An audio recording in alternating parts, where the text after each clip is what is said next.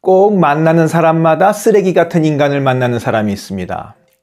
지긋지긋한 부모로부터 빨리 탈출하고 싶어서 결혼을 했는데 부모보다 더 나쁜 인간과 살게 되고 한 번의 실수를 만회하기 위해 재혼했는데 더 개차반인 인간이 배우자가 되었습니다.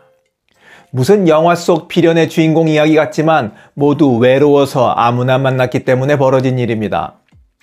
나이 들면 외로워진다고 하죠.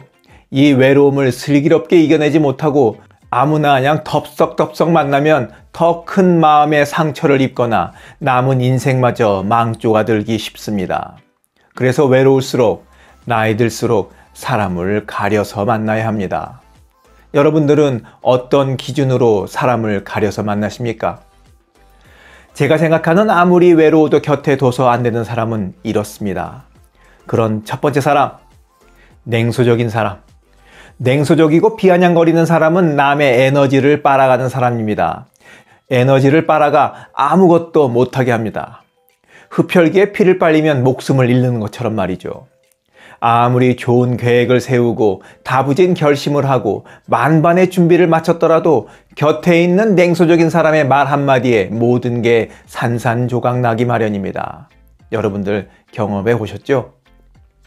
냉소적인 사람들이라고 해서 모두 직설적으로 말하는 것도 아닙니다. 마치 많은 경험을 통해 무언가를 깨달은 철학자나 해탈한 사람처럼 말하기도 합니다. 의욕에 찬 사람 앞에서 응원을 해주기는 커녕, 야, 괜히 힘쓰지 마라. 인생 별거 없다. 다 똑같아. 이런 말로 에너지를 빼앗아 가기도 합니다. 친구는 말할 것도 없고, 혹시 배우자든 부모든 형제자매가 에너지를 빼앗는 사람이라면 거리를 두고 사는 게 내 인생을 구하는 최선의 방법입니다. 아무리 외로워도 절대 곁에 둬서는 안 되는 사람. 두 번째, 두 마음을 품은 사람. 내 앞에서는 웃는 얼굴을 하고 있지만 뒤돌아서면 험담을 늘어놓는 사람이 대표적인 두 마음을 품고 있는 사람일 겁니다. 나를 만나러 오는 이유가 친구로서 공감을 나누려는 것이 아니라 기회를 봐서 돈을 빌리거나 물건을 팔거나 투자를 받으려는 다른 목적이 있는 사람 또한 두 마음을 품고 있는 사람입니다. 두 마음을 품고 있는 사람은 겉과 속이 다릅니다. 평상시에는 어느 것이 진짜 모습인지 알 길이 없습니다만 양두구육이라는 말이 있죠.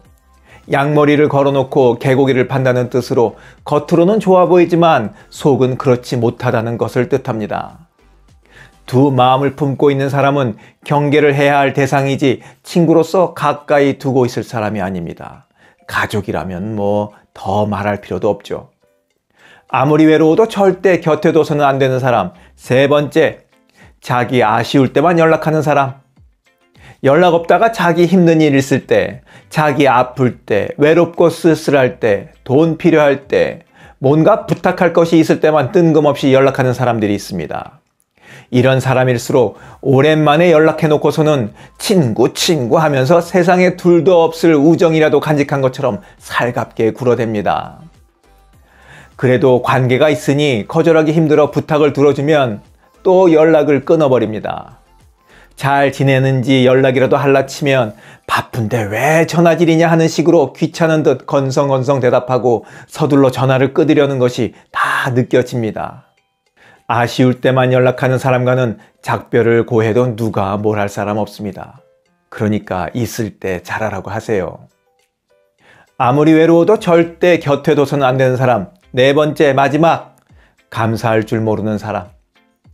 계속되는 배려와 호의를 권리로 하는 모자란 인간들이 있습니다. 감사할 줄 모르고 받는 걸 당연하게만 생각하는 딱한 인간들입니다. 친구 사이엔 고맙다, 미안하다 이런 얘기는 하지 않는 거라는 말도 있는데 그건 10대나 20대들이나 하는 이야기고 사람 사이엔 고맙다, 미안하다 이런 말들을 표현할 줄 알아야 합니다.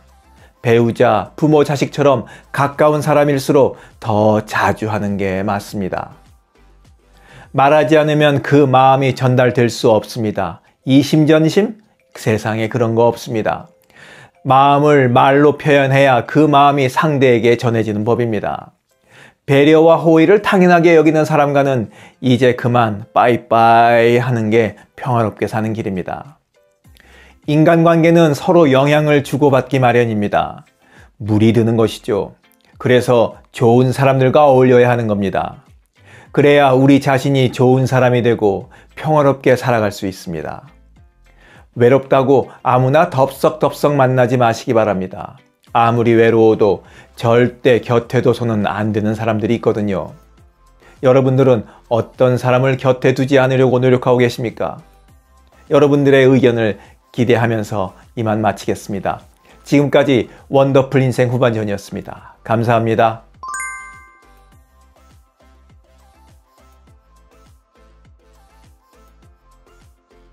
하루를 충만하게 살아가는 좋은 사람들이 모여 있는 곳이 있습니다. 바로 지난 3월 5일에 문을 연 실버들의 전성시대 네이버 카페입니다.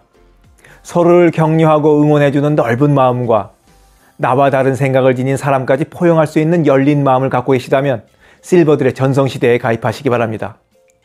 댓글란 맨 위에 적어놓은 링크를 누르시면 가입할 수 있습니다. 아주 쉬워요.